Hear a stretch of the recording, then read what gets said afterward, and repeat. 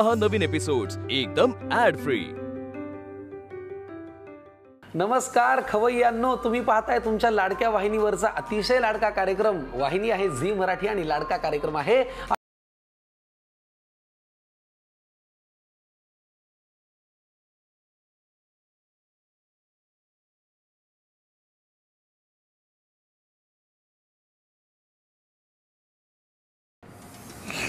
अभ्यास करते. कशाचा पेपर आहे उद्या? इंग्लिश इंग्लिशचा पेपर आहे. मग तुमच्या अभ्यासक्रमाचा ह्या पुस्तकाशी काय संबंध आहे? आणि उलटं पुस्तक धरून अभ्यास करतेस का? लहानपणी आम्ही हे सगळं करायचो. असो काही गोष्टींच्या नादी न लागलेलं बरं आणि काही गोष्टी न खाल्लेलं बरं. त्यातला हा एक प्रकार आहे हो की नाही? चला आपण आजच्या भागाला आता सुरुवात करूया आणि आलेल्या दोन पाहुण्यांचं स्वागत करूया. आणि बघूया नेमके आज गोडाचे पदार्थ होत आहेत का खमंग होत आहेत. या या या नमस्कार या नमस्कार. मीच बोलणार. ठीक आहे. नमस्कार. नमस्कार हॅलो हॅलो खूप मनापासून तुमचं स्वागत. काय करता वरदा मॅडम आपण? मी नाट्यामधून आली आहे. तिकडे आमचं कृषी पर्यटन केंद्र आहे. तुमचं काय नाव? माझं नाव मोनिका रुपेश कोठारी. बरं. तुम्ही काय पुण्याहून करता? आली आहे. मी बाय प्रोफेशन आर्किटेक्ट आहे. अरे वा. काय करणार आहात तुम्ही मॅडम अ, मी बनवणार आहे शाही कलश. आणि तुम्ही काय करताय? मी फणस बिर्याणी. तर आज आपण पाहणार आहोत शाही कलश आणि फणस बिर्याणी. लगेच ओढूया पदार्थांकडे पण त्याआधी इंडिया गेटकडनं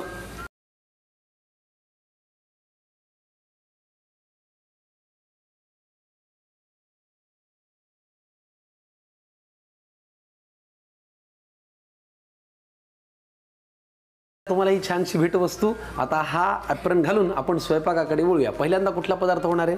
बिर्याणी. का बरं? कोकणातली. आता तर आपण पहिल्यांदा शाही कलशच बघायचा. नाही. लगेच बघूया नाही, साहित्य काय. बिर्याणी. साहित्य काय? चला आणा. बिर्याणी. काजू पावडर साखर dark compound chocolate milk chocolate त्याच्यानंतर white compound chocolate milk powder साजूक तूप. इथे मी डेकोरेशनसाठी काही साहित्य घेतलेलं आहे. जसं आहे टुटी फ्रुटी आपल्या गुलाबाच्या ज्या असतात त्या सुकलेल्या पाकळ्या आणि इथे स्प्रिंकलर्स घेतलेले आहेत. वा सगळंच साहित्य आपल्या आवडीचं आहे. सजावटीपासून ते अगदी काजूच्या पावडरीपर्यंत. तुम्ही रत्नागिरीच्या आहात ना? ही. पण मूळ रत्नागिरीची. त्याच्यामुळे तिथल्या माणसांशी कसं डील करायचं याची तुम्हाला आता टॅक्ट आलेली आहे. तर ती थोड्या माझ्या गावाच्या शेजारची आहे. बघा ना एकदा अनुभव घेऊन घ्या. एकदा. मुंबईत आल्यानंतर ती कशी बदलली आहे जरा सांभाळा तिला ओके? चला. मोनिका मॅडम आता आपल्याला काही धोका नाही साहित्य संपणार नाहीये लगेच आपण कृती हो. करूया. काय करूया आधी? सगळ्यात आधी आपण boiling method double boiling method पद्धतीने आपण हे जे चॉकलेट आहे ना ते आपलं आधी बनवून घेऊया. बरं. पॅनमध्ये आपल्याला पाणी लागणार आहे. पाणी. गॅस लावू? हो.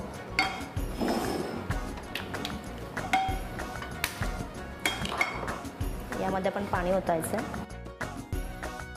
चला काय करायचं आता? आता आपण याच्यामध्ये हे भांडं ठेवूयात. ठीक आहे. आणि हे जे आपण दोन्ही चॉकलेट घेतलेले आहेत. हां. एक काम करूया आपण जो शाही कलश करतोय त्याच्यासाठी लागणारा हा जो चॉकलेटचा मेल्ट आपल्याला करायचा आहे. तो आपण करून घेऊया. चॉकलेट मेल्ट झालं की मग वळूया पुढच्या कृतीकडे. चला शाही कलशसाठी लागणारं चॉकलेट मेल्ट झालेलं आहे. हो. आता पुढे काय करूया? आता चॉकलेटचा हा एक पाट आपला झालेला आहे. जो आपण मिक्स घेतलेला होता. तर त्यानंतर हे जे व्हाईट चॉकलेट आहे जे आपण शेडिंगसाठी म्हणून वापरणार आहोत ते देखील आपल्याला सेम तसंच करून घ्यायचं आहे. बर. डबल बॉइलिंग डबल बॉइलिंग चला आपण आधीचे दोन चॉकलेट मेल्ट केले. आता हे पण चॉकलेट मेल्ट झालं की मग वळूया पुढच्या कृतीकडे.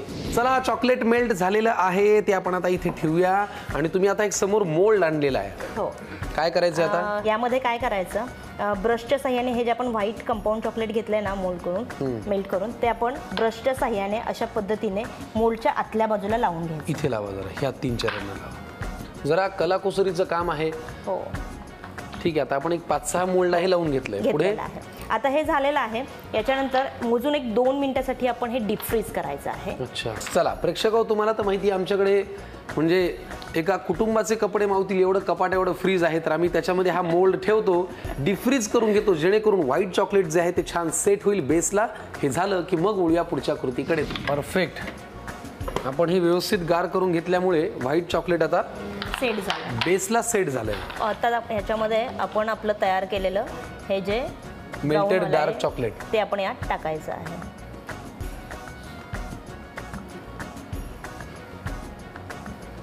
आणि आपण सगळ्या ह्याच्यात पोर करून घेतलं ना की त्याला चांगल्या प्रकारे टॅप करून घ्यायचं जेणेकरून त्याच्यामध्ये काही एअर गॅप राहणार नाही. ह्या अशा पद्धतीने आपण हे टाकून घेतलं आणि हे असं टॅप करून घ्यायचं. आणि हे पुन्हा एकदा आपण सेट करून घ्यायचं आहे आपण फ्रीजमध्ये हे सेट करून झालं की मग आपले मोदक जे आहेत वरचे चॉकलेट मोदक ते रेडी चला आम्ही मग अशी व्हाईट चॉकलेट घालून हे सेट करून घेतलं आता परत डार्क चॉकलेट घातल्यानंतर परत सेट करतो तोपर्यंत तुम्ही पाहत राहा. आपण इथे पॅनमध्ये साखर घ्यायची आहे आणि यामध्ये अगदी थोडंसं पाणी टाकायचं आहे. टाका. अजून टाका. बस. बस. आणि आता या साखरेचा आपण एकतारी पाक तयार करून घ्यायचा आहे. बर. साखर जी आहे ती पूर्ण विरघळली पाहिजे. एक तारी पाकाचं नाव घेतलं आणि तुतारी आली. आपण इथे बघू शकतो ही एकतार आलेली छान आलेली आहे एकतार. अशा वेळी आपण गॅस बंद करून टाकायचा. बरोबर आहे. ठीक आहे? आणि पुन्हा एकदा थोडंसं स्टेअर करायचं. त्यानंतर आता आपण अ, ही जी अ, काजूची पावडर तयार करून घेतली आहे ती आपण यात टाकायची आहे. टाका. सगळी? नाही थोडी थोडी टाकायची आहे. सगळी एकदम नाही टाकायची. आणि हे मिक्स करत असताना यात आपण मिल्क पावडर टाकायची आहे अर्धा कप ठीक आहे? आणि हे छान एकत्र करून घ्यायचं आहे. वा मस्त. आणि आपल्या या कलशला थोडी छान चकाकी यावी. यासाठी आपण त्यामध्ये टाकणार आहोत थोडंसं साजूक तूप. तुपामुळे त्याला एक छान ग्लो येणार आहे. त्यामुळे थोडंसं तूप टाकायचं आहे. मजा आहे बाबा कलशाची. स्किन केअर आणि आपण ही जी पुढची कृती केलेली आहे ना ती सर्व गॅस बंद करूनच केलेली आहे. हो हो हो. कारण की जास्त गरम जर झालं तर ते कडक होईल. बरोबर आहे. आपण आता ही जी काजूची पावडर आहे ती साखरेच्या पाकात छान मिक्स केलेली आहे. त्यात तूप घातलंय. त्याचा गोळा बटर पेपरवरती थापूया आणि मग वळूया पुढच्या कृतीकडे अप्रतिम असा गोळा तयार झालेला आहे. आता पुढे काय करायचं खरंच अप्रतिम झाला याचं साईन हे की ते पॅनला कुठेही चिकटलेलं नाही Correct. आणि असं जर नाही झालं तुम्हाला वाटलं की ते चिकटलेलं दिसतंय कुठे दोन मिनिटं तुम्ही गॅस ऑन करू शकता आणि पुन्हा एकत्रित तो गोळा पण पॅनवरतीच तयार करून घ्यायचा आहे. ठीक. गोळा तुम्हाला जी हवी ती तकाकी पण आलेली आहे त्याला. ती पण आलेली आहे. तूप लावल्यामुळे. हे आपण याच्यामध्ये घ्यायचं आहे. आणि त्यानंतर बटर पेपरच्या साह्याने आपण याला थोडं मिक्स करून घ्यायचं आहे. हा. आता याला आपण आपल्या बाउलमध्ये काढून घेऊया. ठीक आहे. तोंडाला पाणी सुटलंय ना? छान असा आपला हा गोळा जो आहे तो आपण तयार करून घेतलेला आहे. साधारण लिंबाच्या आकाराचा आपण ह्याचा गोळा करणार आहोत. हे बघ. हे गोळे आपण सगळे तयार करून घ्यायचे म्हणजे त्याला आपण एकेकाला कलशचा आकार द्यायचा आहे. ठीक आहे. तर या अशा पद्धतीने आपण ह्याला आकार द्यायचा आहे. असा कलशचा आकार आपण ह्याला दिलेला आहे. खूप छान. आणि या पद्धतीनेच आपण बाकीचे जे कलश आहेत ते देखील रेडी करून घ्यायचे आहे वा वा वा वा वा. आम्ही जे मगाशी मोल्डमध्ये आधी व्हाईट चॉकलेट लावलं होतं आणि त्याच्यानंतर वरती डार्क चॉकलेट घातलं होतं त्याचा परिणाम बघा. कलशाच्या टोकावरती बर्फ तयार झालेला आहे. हो की नाही? फारच छान. वा. आता याला आपण चांदीचं वर्क जे असतं ते लावायचं आहे.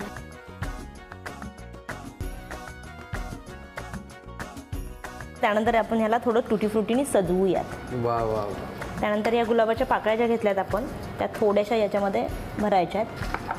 काही स्प्रिंकलर्स टाकूयात.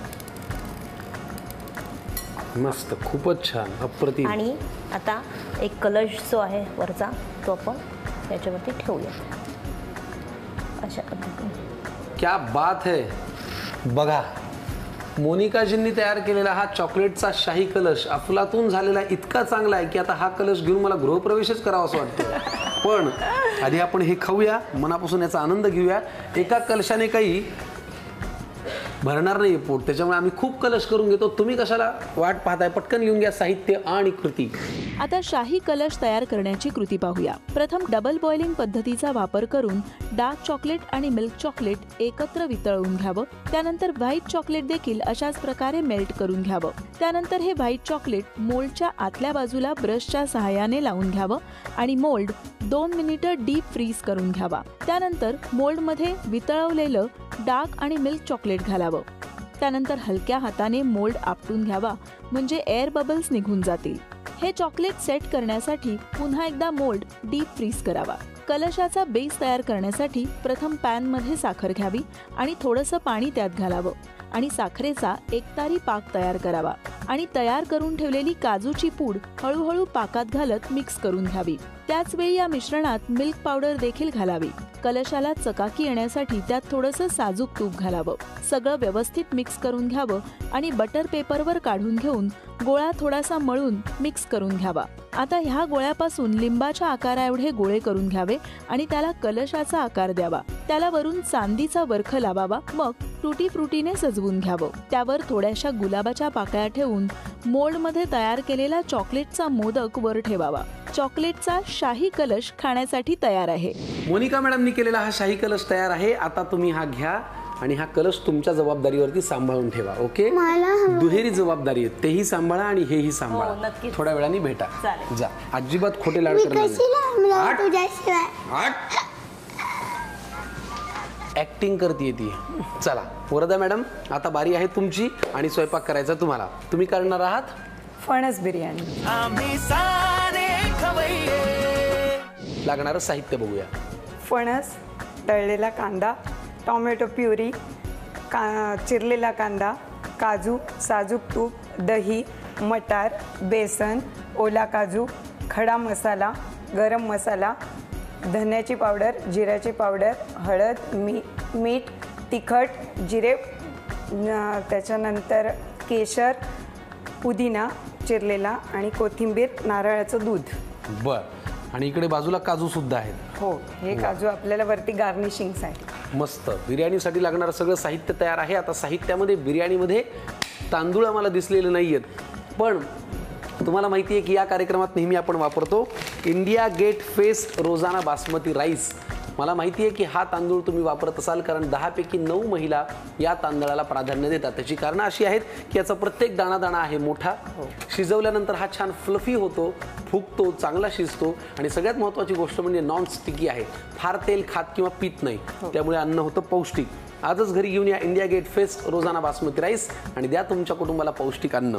आपण हा राईस वापरूया आणि स्वयंपाकाला सुरुवात करूया. किती लागणार आहे तांदूळ? बस. बस? तांदूळ आपण घेतलेला आहे. काय करूया पहिल्यांदा? पण त्याआधी एक आपलं साहित्यामध्ये हो ही आलं लसूण मिरची पेस्ट आहे. हा ठीक आहे. ती सुद्धा आपण वापरतोय. आता काय करूया पहिल्यांदा? तांदूळ थोडं पाणी घालून भिजवून ठेवूया. एक दहा मिनटं. बर.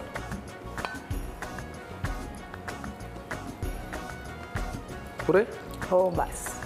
तांदूळ शांतपणे भिजेपर्यंत आपण करूया पुढची कृती.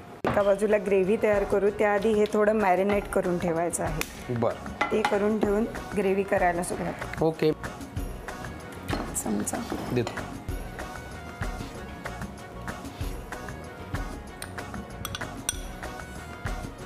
फणस काय शिजवून घेतलंय का? फणस शिजवून घेतलेला आहे. अच्छा. मध्ये थोडी हळद साधारण अर्धा चमचा वगैरे करू. हम्म. एक दोन चमचे लाल तिखट. त्यानंतर धन्याची पावडर जिऱ्याची पावडर एक एक चमचा.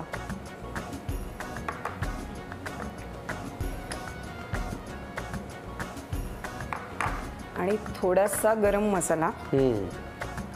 आणि ह्याला बाइंडिंगसाठी.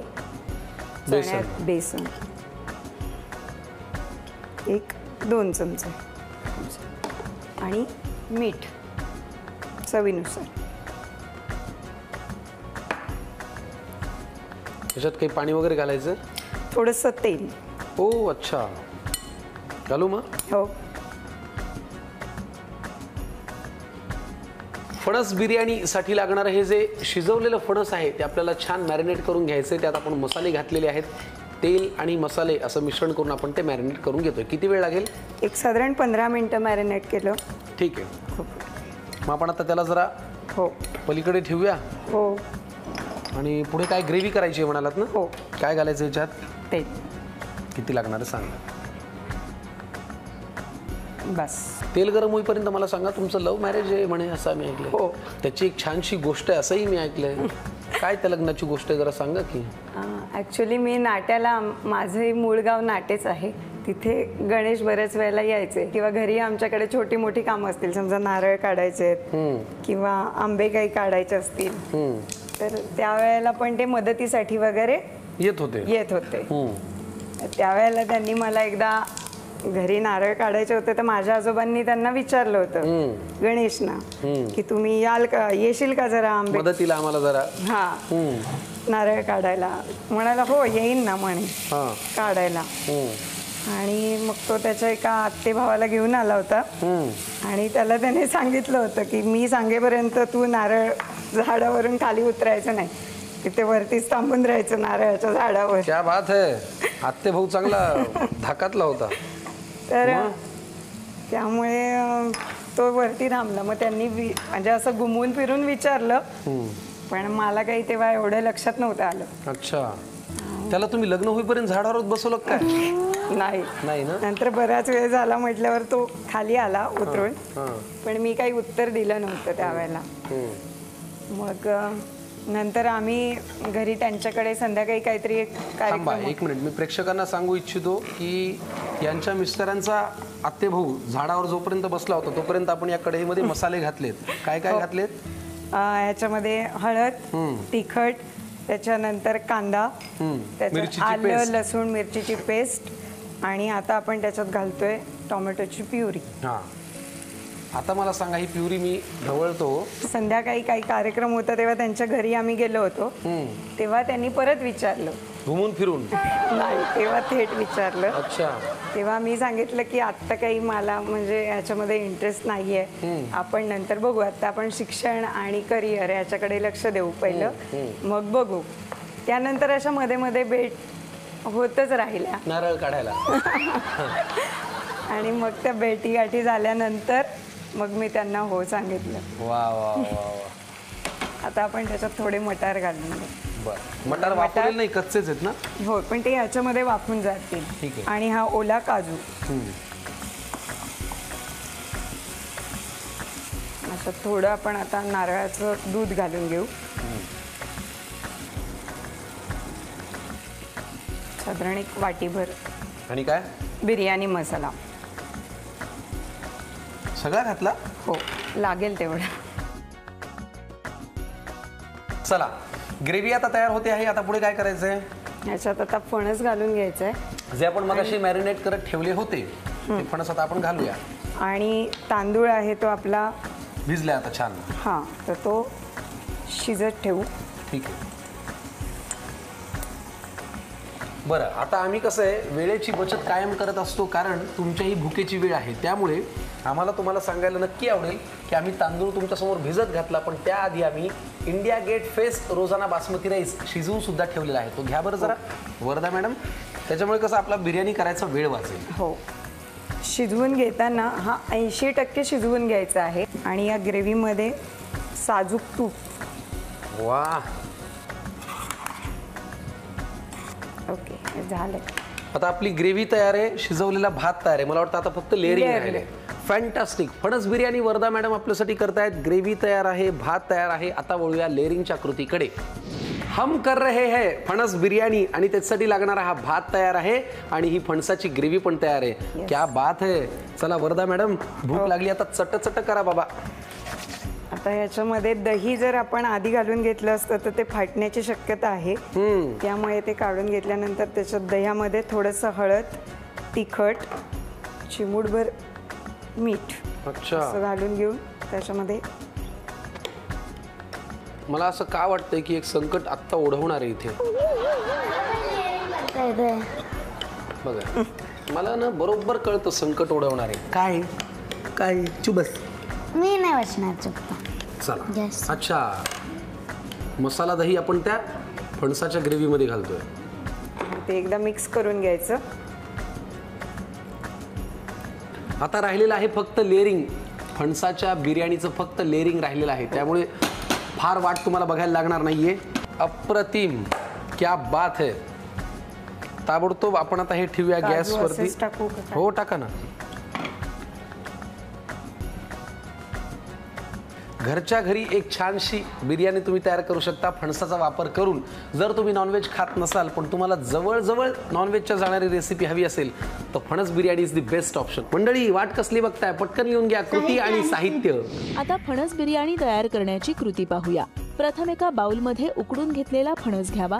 मॅरिनेट करण्यासाठी त्यात थोडीशी हळद लाल तिखट धणेपूड जिरेपूड थोडासा गरम मसाला थोडंसं बेसन आणि चवीनुसार मीठ घालावं. वरून थोडंसं तेलही घालावं आणि हे सगळं व्यवस्थित मिक्स करून घेऊन पंधरा मिनिटं झाकून बाजूला ठेवावं.